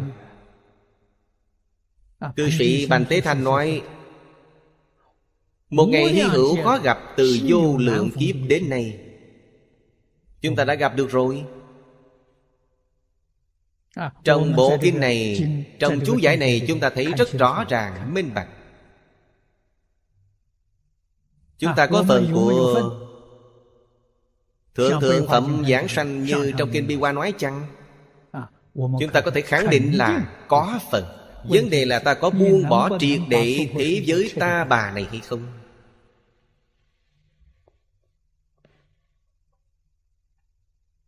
Buông bỏ không phải nói buông bỏ về sự Sự không sao Về sự không có chướng ngại.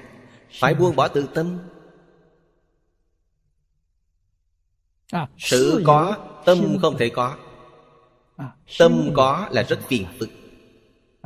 Dùng tâm thanh tịnh để hành sự. Dùng tâm bình đẳng để đối nhân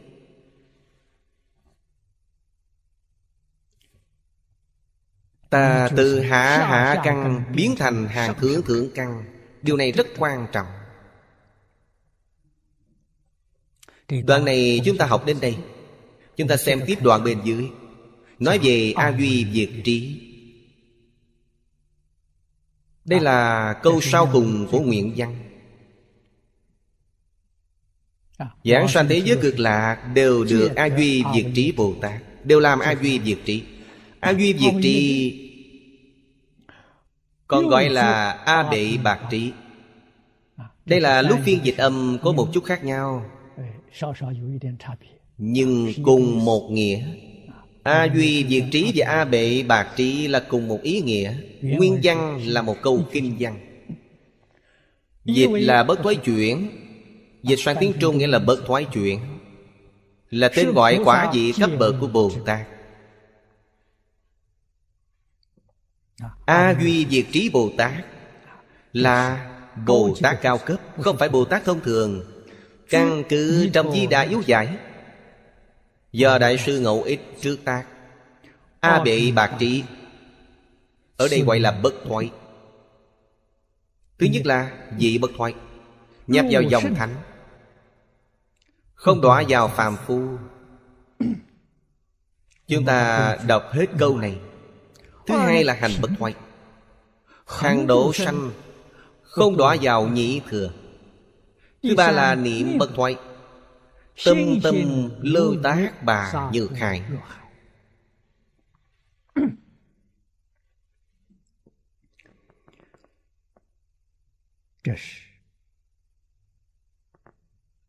đây là Ngẫu Ích Đại Sư Trong Di Đà Kinh Yếu Giải Nói với chúng ta vì ba loại bất thoái của a duy diệt trí loại thứ nhất là họ đã nhập vào dòng thánh. Không còn thói chuyển về phàm phu. Nghĩa là nói họ thành thánh nhân thực sự họ không phải phàm phu. Là ai? bên dưới nói là sơ quả tiểu thừa. Đại Thừa Như Kinh Hoa Nghiêm Là Bồ Tát Sư Tín Dị.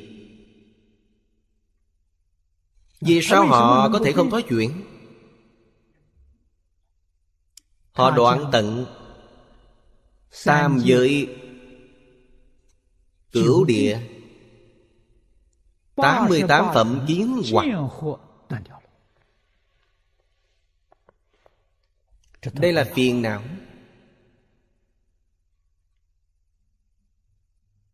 88 phẩm kiến hoặc Đức Phật vì phương tiện cho việc dạy học Ngài quy nạp nó thành năm loại lớn. Năm loại kiến hoặc Vì phương tiện dạy học. Thứ nhất là thân kiến. Phạm phu chúng ta chấp trước thân này là ta. Như vậy là sai lầm. Thân không phải ta à, thân là gì? trong phật pháp nói thân là ngã sở là ta sở hữu. Không phải ta. Giống như áo quần vậy áo quần là ta sở hữu nó không phải là ta. À, đức phật dạy chúng ta phải nhận thức rõ ràng thân không phải ta thân có sanh tử. Nói cho chư vị biết ta không có sanh tử. áo quần rách thay chiếc áo khác. Bởi vậy ta đầu thai vào trong luân hồi lục đạo. Như vậy là sao? đó là ta. Thân không phải ta. Quý vị thường thay đổi thân thể. Thay đổi thân thể có gì đáng sợ? Là việc rất bình thường.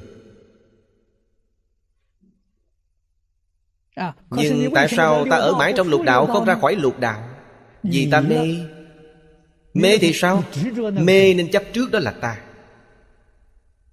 À, Bây giờ đến cái nhà triết học phương Tây cũng như vậy Họ biết thân không phải là ta. Đối với họ cái gì là ta? Sự suy tư đó là ta. Họ có một sự chấp trước như thế. Họ còn chấp trước suy tư là ta. Có suy tư cũng không phải là ta. Có suy tư mà suy nghĩ lung tung.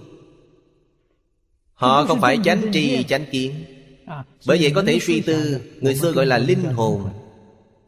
Thực ra đó là nói dễ nghe. Hồn chỉ là mê hồn, Chứ không linh. Nếu linh, tại sao Nó đầu thai vào trong tam độ? Vì sao biến thành suốt sanh, Biến thành ngã quỷ? Không linh. Nó mê hoặc điên đạo Cho nên mê hồn là thật, Nó không phải là linh hồn. Cho nên Khi mê gọi là mê hồn Khi giác ngộ gọi là linh tánh. Đó chính là ta.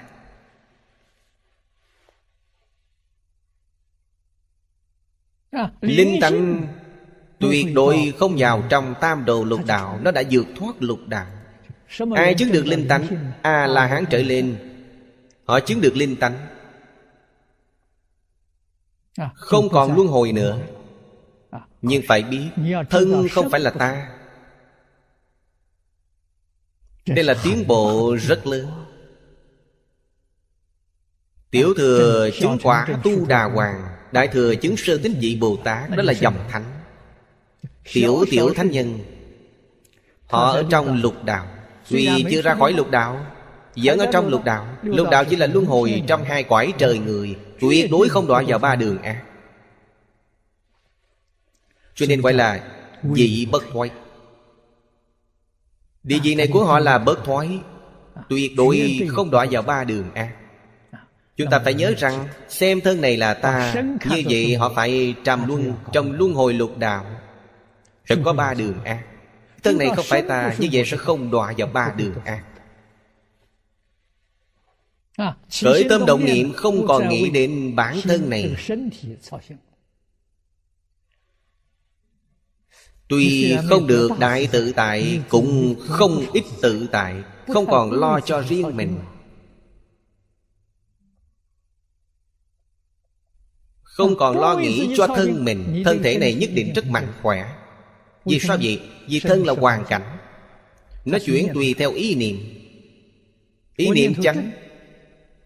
Mỗi tế bào trong thân thể nó là tự nhiên Tự nhiên chính là mạnh khỏe nhất Nếu như thường hay nghĩ đau chỗ này Chỗ kia không khỏe Chỗ này khỏe Chỗ kia lành mạnh. Tùy theo ý niệm của ta Toàn bộ tế bào đều thay đổi Sanh biến hóa. Vấn đề là như thế. không nghĩ trái lại nó lại tốt Càng nghĩ càng tệ. Đạo lý là như vậy Phải hiểu nó một cách rõ ràng, minh bạch. Loại thứ hai là hành bất thoái. Đây là đối với hàng tiểu thừa mà nói Tiểu thừa A-la-hán Bích Chi Phật Đây là hàng nhị thừa. Họ độ chúng sanh. Chỉ độ người có nhân duyên Không có nhân duyên họ không độ. Dạ, Tâm lượng rất nhỏ à, Không như Bồ Tát Bồ Tát phổ độ Gặp được đều muốn quan tâm. Hàng tiểu thừa gặp được Thấy thuận mắt họ mới độ Không thuận mắt không độ Còn như thế nào? Nếu tìm đến họ thì họ mới vậy Không tìm họ họ không đến tìm ta. À. Đây là hàng nhị thừa. À, đại thừa Bồ Tát không như vậy. Bồ Tát Đại Thừa là hằng độ chúng sanh Mãi mãi độ chúng sanh. Nghĩa là trong tứ quan thệ nguyện nói Chúng sanh vô biên thệ nguyện độ. Mỗi niệm họ không quên. Hàng tiểu thừa không phát nguyện như thế. À, Bởi vậy Bồ Tát họ không đọa vào nhị thừa Thứ ba là niệm bất thoái Niệm niệm nhập vào tác bà nhược hải Tác bà nhược hải là tiếng Phạn. Dịch sang tiếng Trung nghĩa là tánh hải tự tánh. Nghĩa là niệm niệm trở về tự tánh. Đây là Đại Thừa. Là ai? Là Pháp Thân Bồ Tát. À, Pháp Thân Bồ Tát Không khởi tâm, không động niệm, không phân biệt, không chấp trước. À, Họ có tu hành chăng? Nhưng ở trước chúng ta nói Khiến tâm được niệm. Niệm này nghĩa là Niệm niệm nhập vào tác bà như hải à, Đến khi nào họ mới trở về tự tánh? Đến diệu giác gì? Bởi vậy cần phải biết. Gọi thật báo trang nghiêm Ở thế giới cực lạc Ai ở trong đó? Viên giáo sơ trụ đến đẳng giác 41 vị Pháp thân đại sĩ ở trong cõi báo. Nâng cao thêm một bậc nữa Đó là diệu giác. Diệu giác không ở đây. Diệu giác đến thường tịch quan Tác bà Như Khải chính là từ tịch quan Nghĩa là tự tánh Trở về tự tánh Trở về tự tánh chứ gì phải biết Tự tánh rất linh. Tất cả chúng sanh có cảm Họ liền tự nhiên có ứng.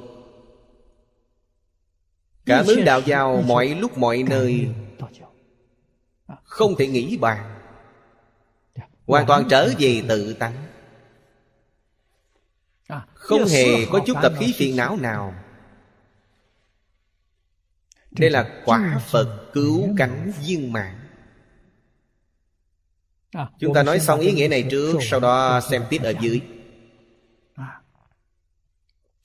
Nhược ước thử độ Tức là từ thế giới ta bà mà nói. Thử độ là thế giới ta bà. Tạng giáo Nghĩa là nói từ tông thiên thai. Tạng giáo. tức là Sơ quả tiểu thừa. Thông giáo là kiến địa Biệt giáo là sơ trụ Viên giáo là sơ tịnh. Trong kinh Hoa Nghiêm gọi là viên giáo. Bồ Tát sơ tín của thập tín vị Trong kinh Hoa Nghiêm gọi là dị bất thoái. Nghĩa là nói Họ đã phá thân kiến Không còn chấp trước thân này. Thứ hai là phá biên kiến. Biên kiến. ngày nay chúng ta gọi là đối lập Họ không có ý niệm đối lập với người. Đã buông bỏ điều này Họ không còn thành kiến. Thành kiến là gì? Bản thân tôi nghĩ như thế nào? Không có ý niệm này. Họ có thể hằng thuận chúng sanh Tùy hỷ công đức. Sao cũng được. Họ đã đến cảnh giới này. Nên họ không có tà kiến. Kiến giải của họ đều chính xác Không có sai lầm Đây là vị bất thoái.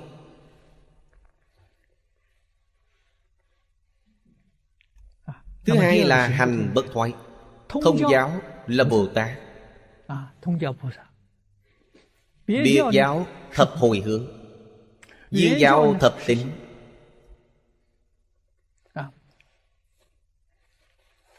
Thập tính tức là đệ thập tính.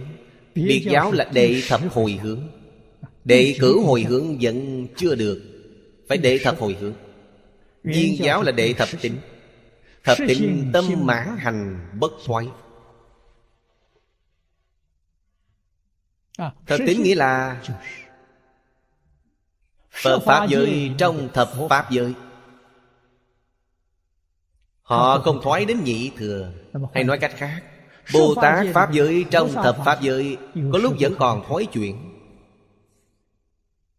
Đến địa vị thập Pháp giới Phật là không còn thói chuyện. Độ chúng sanh không thói chuyện. Đây là hành bất thoái. Bên dưới Biệt giáo sơ địa. Viên giáo sơ trụ. Đây là niệm bất thoái. Biệt giáo sơ địa Lìa khỏi mười pháp giới Viên giáo sơ trụ cũng như thế. Họ đi về đâu? Họ đến quải thật báo trang nghiêm. Lúc này Họ chỉ có một phương hướng Một mục tiêu. Chứng Giác ngộ cứu cánh viên mạng Nghĩa là cứu cảnh giác, viên mạng giác Cũng chính là Trong Kinh Hoa Nghiêm gọi là diệu giác dị Họ chỉ có một phương hướng, một mục tiêu như thế. Phải chứng được quả Phật cứu cánh viên mạng Đây là niệm bất thoái Ở trên nói có ba loại bất thoái Tối thượng là cao nhất. Cao nhất là niệm bất thoái Tu hành ở cõi này Ở thế gian chúng ta Biệt giáo Cần phải chứng sơ quan hỷ địa Chính là sơ địa. À, Sơ địa gọi là quan hỷ địa. Viên giáo phải đến sơ phát tâm trụ. Sơ phát tâm nghĩa là phát tâm Bồ Đề. Chứ vậy phải biết Thật sự phát tâm Bồ Đề Là viên giáo sơ trụ. À, Quý vị xem chứng Một phần pháp thân. Bắt đầu có thể niệm niệm lưu nhập tác bài như khải. Nếu không chứng được một phần pháp thân Ta không đến được địa vị này. À, Biệt giáo sư địa Bồ Tát. Và viên giáo sư trụ Bồ Tát. Địa vị đoạn chứng như nhau đều phá vô minh. Chứng pháp thân.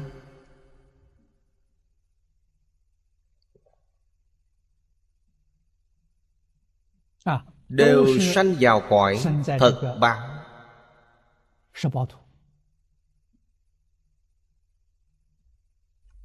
biệt giáo đến sau cùng phải chuyển thành viên giáo mới viên mạng bởi vậy Địa vị được giáo giống nhau Nhưng trí tuệ không tương đồng. Viên giáo hơn hẳn biệt giáo. Trí tuệ không tương đồng. Tác bà Như Khải Ở đây giải thích cho chúng ta Tức nhất thiết chủng trí hải Tức như lai quả hải. Nhị biên đều xả Toàn quy về trung đạo. Nghĩa là chân như tự tánh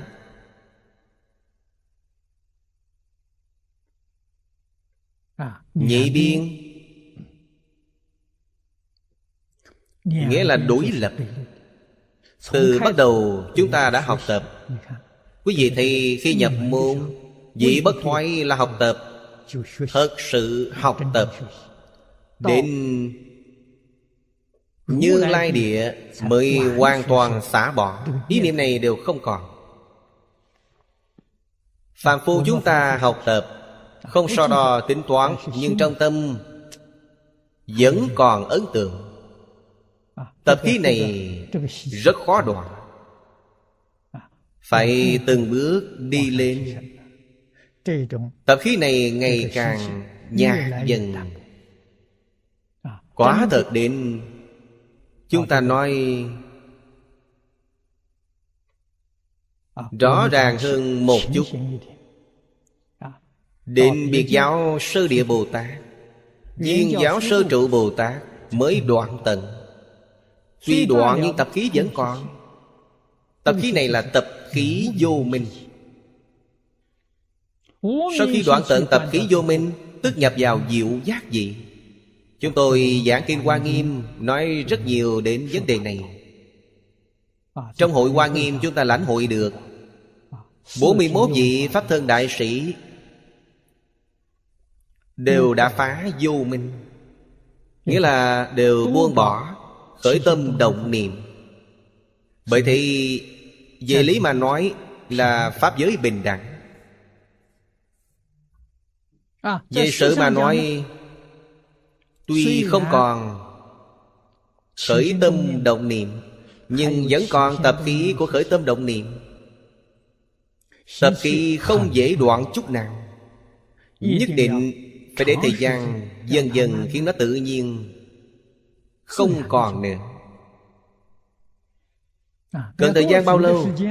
Trong kinh Đức Phật nói, Cần ba A Tăng kỳ kiếp. Như vậy mới biết Tập khí vô thủy vô minh thật đáng sợ. Ba tăng kỳ kiếp tự nhiên nó không còn.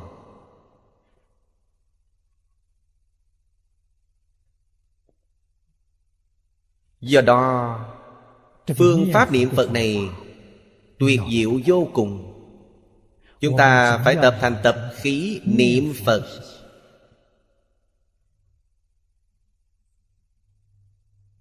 Chúng ta có lý do tin rằng Khi đã tập thành tập khí niệm Phật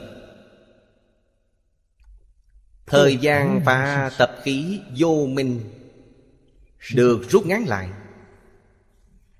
nghĩa là sao? Là mượn vô lượng trí huệ thần thông đạo lực.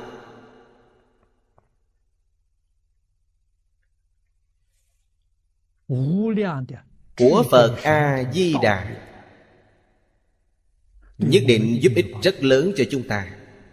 Công đức niệm phật không thể nghĩ bằng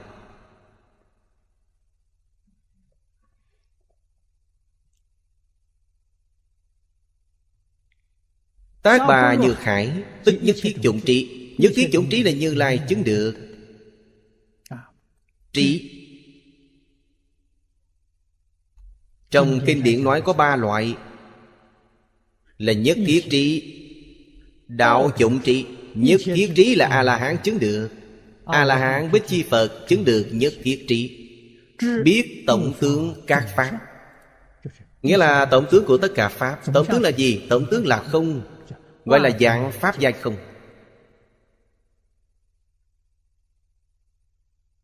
À, Trong Kinh Kim Cang nói Nhất thiết hữu di Pháp như mộng huyễn bao ảnh À, Lại nói Phàm sở hữu tướng giai thị hư vọng Đây là tổng tướng. Tổng tướng của tất cả Pháp Bất khả đắc. À. Đây gọi là nhất thiết trí. Thanh văn duyên giá chứng được. Loại thứ hai là đạo dụng trí là bồ tát chứng được. Đạo dũng là gì? Đạo là đạo lý. Tất cả pháp này là đạo lý gì? Chủng chủng. Nghĩa là tất cả pháp quá nhiều, vô lượng, vô biên. Vì sao có những thứ này? Đây là đạo lý gì? Loại trí tuệ này a la hán không có. A la hán biết là tổng tướng, bồ tát biết là biệt tướng. Biệt là sai biệt, Vô lượng vô biên sai biệt Bồ Tát biết. Như Lai biết nhất thiết dụng trí. Nhất thiết trí và đạo dụng trí là một, không phải hai. Đây là Như Lai địa thượng chứng được, Đây mới thực sự viên mãn. Cho nên nói nhất thiết dụng trí hải, Gọi là Như Lai quả hải. Như Lai chứng được. Hải là hình dung từ. Hình dung nó sâu rộng, vô biên, Không có bờ bến.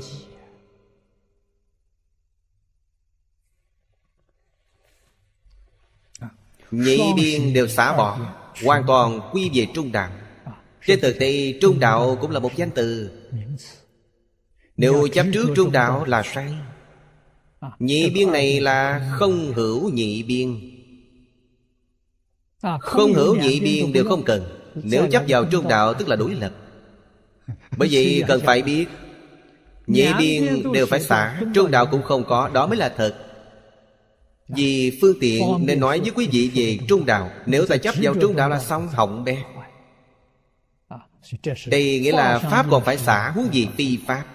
Đến sau cùng Phật Pháp cũng phải xả bỏ một cách triệt để phải biết rằng đức phật nói mà không nói không nói mà nói. Chúng ta tuyệt đối không thể đối với tất cả pháp đức phật nói sanh ra một thứ trì kiến như vậy là sai. Đó không phải là ý của phật.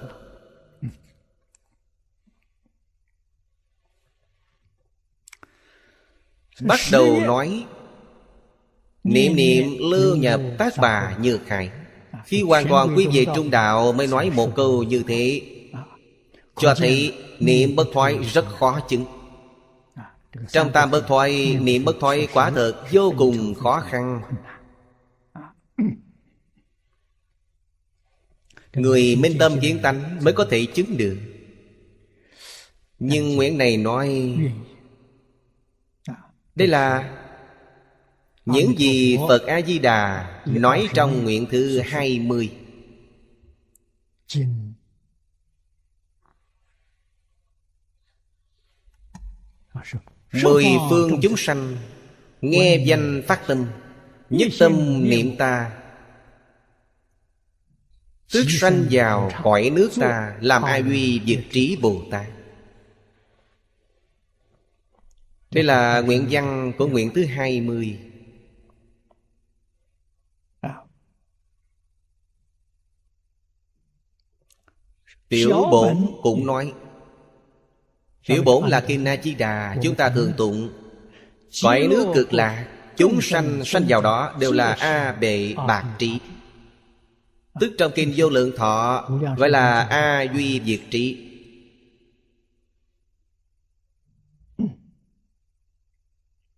Đại và tiểu bổn Đức Phật đều nói như nhau. Điều đó cho thấy điều này là chân thật không hư vọng A Duy Diệt Trí Bồ Tát đầy đủ ba loại bân thoại Đó là ai? Chúng ta vừa mới học xong. Là viên giáo sơ trụ. Biệt giáo sơ địa. Người sanh đến thế giới Tây Phương cực lạc.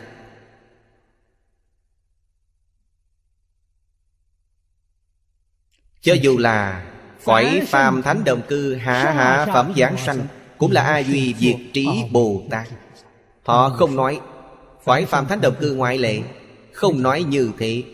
Nghĩa là bao gồm cõi phàm thánh đồng cư.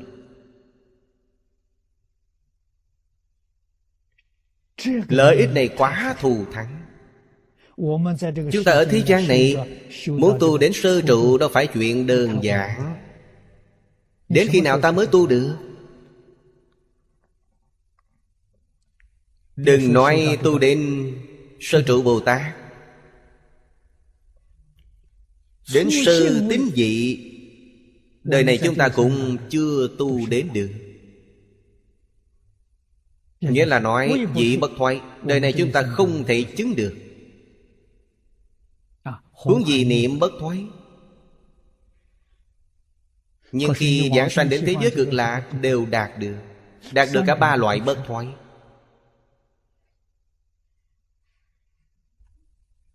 Điều này tuyệt đối không phải Phật A-di-đà mê hoặc chúng sanh. Không phải. Mỗi câu mỗi chữ của Phật A-di-đà Đều là lời chân thật. Vì sao ta có thể đạt được? Là nhờ nguyện lực 48 nguyện Của Phật A-di-đà gia trì. 48 nguyện của Ngài Mỗi câu sau cùng của nguyện đều nói Nếu không thành tựu Nguyện này. không thụ chánh giác. Nếu không làm được Ngài sẽ không thành Phật. Hiện nay Phật A-di-đà thành Phật đã 10 kiếp. Có thể thấy nguyện của Ngài hoàn toàn được thực hiện.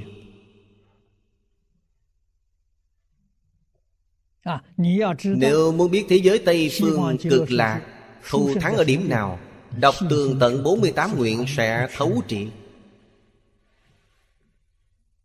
Đến thế giới Tây Phương cực lạc Ta sống cuộc sống như thế nào? Ta sống ngày tháng ra sao? Trong 48 nguyện đã nói rõ hết. 48 nguyện chính là Phật A-di-đà nói. Đức Phật Thích Ca Mâu Ni. thuật lại cho chúng ta Phật A Di Đà nói như thế Đức Phật Thích Ca Mâu Ni cũng thuật lại như thế. Không thêm không bớt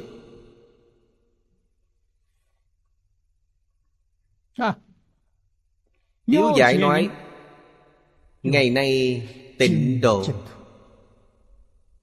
Ngũ nghịch thập ác Mười niệm thành tựu đới nghiệp giảng sanh. Đạt được hạ hạ phẩm Đều được Tam bất thoại Đây là Đại sư Ngẫu Ích nói Hàng hạ hạ phẩm Cũng chứng tam bất thoại Một đời viên thành Phật quả Điều này mười phương thế giới không có. Duy nhất thế giới cực là có. Thắng vị siêu tuyệt như thế Lời nói và tư tưởng không sao diễn tả được. Lời này là thật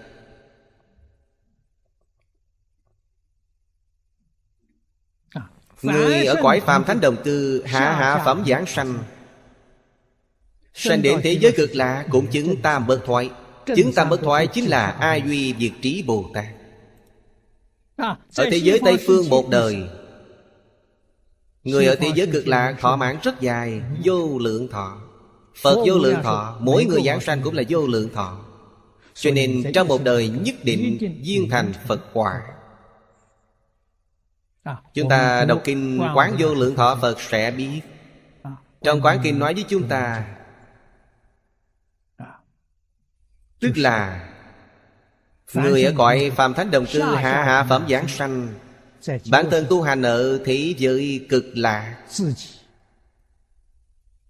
Chứng được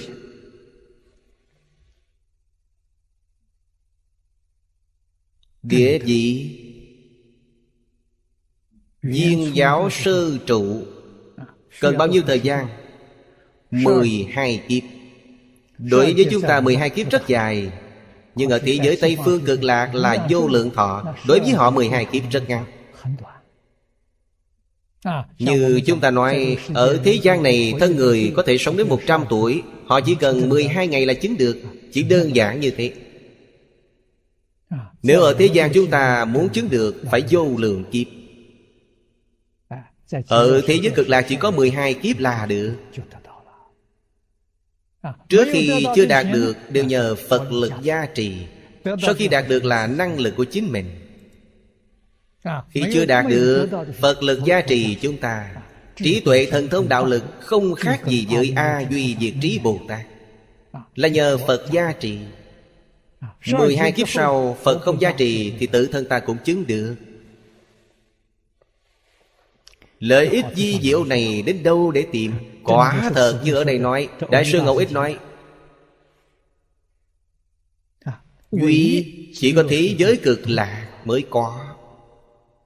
Đức Phật Thích Ca Mâu Ni giảng kê tuyết pháp suốt 49 năm. Giới thiệu cõi nước chư Phật khắp mười phương Có rất nhiều điều chưa nói đến. Chỉ có thế giới cực lạc có Đây chính là vì sao chúng ta muốn giảng sanh về thế giới cực lạc. Đạo lý là như vậy. Thắng vị như thế Thắng là thù thắng. Vị là hy hữu. Siêu tuyệt. Ngôn ngữ, tư lương Đều không thể nào tưởng tượng được Không thể nói được Cũng không tưởng tượng đến được.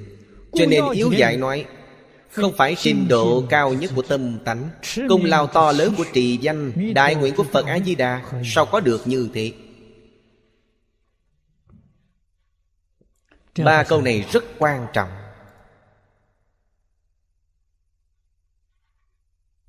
Trình độ cao nhất của tâm tánh Là nói tự tánh của chúng ta Tự tánh chúng ta không thể nghĩ bàn. Nhưng ngày nay chúng ta mê thất tự tánh. Nếu trong tự tánh chúng ta không có Phật A-di-đà không giúp gì được. Tự tánh chúng ta có Nhưng vì mê. Mê làm chướng ngại trí tuệ Và đức năng trong tự tánh Nó không khởi tác dụng Không phải không có. Đây là nói ra nguyên nhân chính. Không nói ra làm sao Phật A-di-đà giúp được. Là vì tự tánh chúng ta có? Tự tánh chúng ta có Nhưng tập khí phiền não trong tự tánh rất nặng Không thể hiển tiền. Phật A-di-đà dùng oai thần bổ nguyện Gia trì chúng ta Khiến đức năng và trí tuệ Trong tự tánh của chúng ta có thể hiển tiền. Nhưng điều này phải dựa vào Nhân duyên. Oai thần bổ nguyện của Phật A-di-đà. Không có nhân duyên này. Chướng ngại của chúng ta Chướng ngại nó không thể hiển lộ. Nghĩa là chúng ta không thể làm cho nó hiển lộ. Đức Phật A-di-đà cũng giúp ta hiển lộ. Ngài có bản lĩnh này. Vẫn là chính mình Nhưng không dựa vào sức mạnh của Phật A-di-đà Sẽ không khởi tác dụng. Nhất định phải lấy Ngài làm duyên. Nhân vẫn là chính mình. Như vậy mới có thể thông suốt được. Nếu không không thể thông suốt.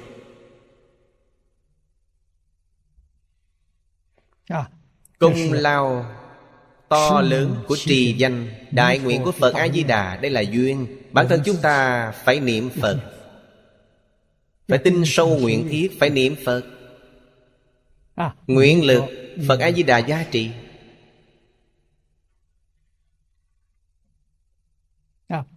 Vấn đề này mới có thể thuận lợi xuất hiện.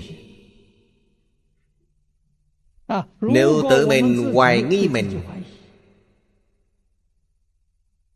điều này sao có thể đối với nguyện lực của phật a di đà cũng không thể tin sâu. như vậy vấn đề này rất khó. Trong pháp môn niệm phật quan trọng nhất là hoàn toàn không có hoài nghi.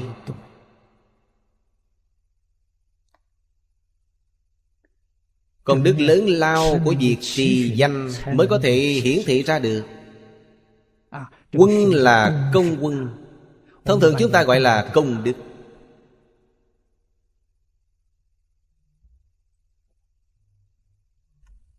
Nguyện lực của Phật A-di-đà liền hiện tiền. Vì sao có những người niệm Phật Số ít không phải số nhiều?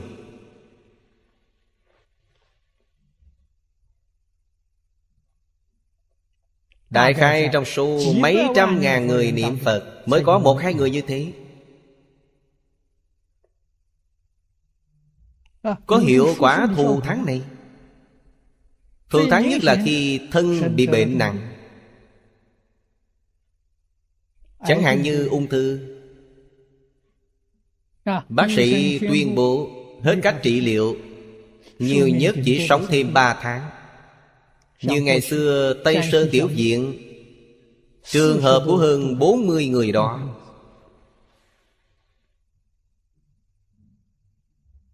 Họ đã được bác sĩ tuyên bố Đồng nghĩa với tuyên án tử hình. Thọ mạng của quý vị chỉ còn 3 tháng. Họ buông bỏ dạng duyên.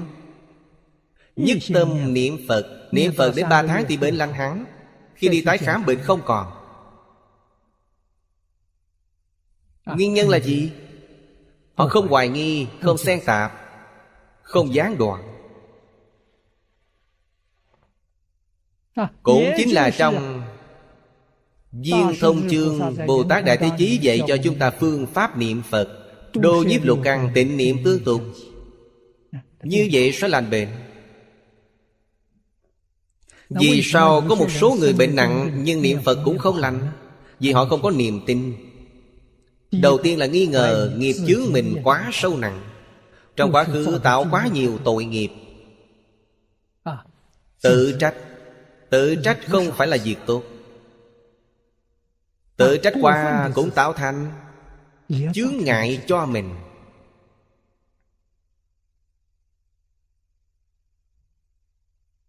Đức Phật từ bi Có thể tha thứ cho ta chăng? Hoài nghi Phật có thể tha thứ cho ta chăng? Sợ Phật không tha thứ cho mình. Quý vị xem Đây không phải tự gây phiền phức cho mình? Ư Đức Phật vốn không có chuyện gì xảy ra cả. Đều là do tự mình nghĩ ra rất nhiều vấn đề Làm chướng ngại chính mình Sai lầm là ở chỗ này. Chúng ta không thể không biết. Sau khi biết Nhất định phải trừ bỏ những sai lầm này. Trừ bỏ triệt để. Đời này chúng ta mới có thể thuận lợi giảng sanh. Mới có thể thành tựu công đức vô cùng thù thắng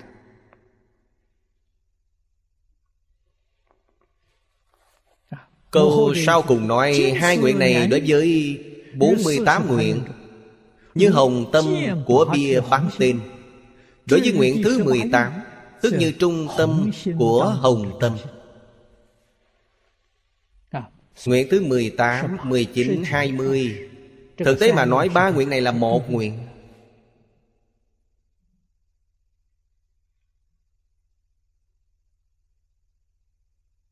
Nếu chúng ta thấu hiểu triệt để ba nguyện này Mới có thể đoạn tận nghi hoặc đối với tịnh tông Đây gọi là phá mê khai ngộ.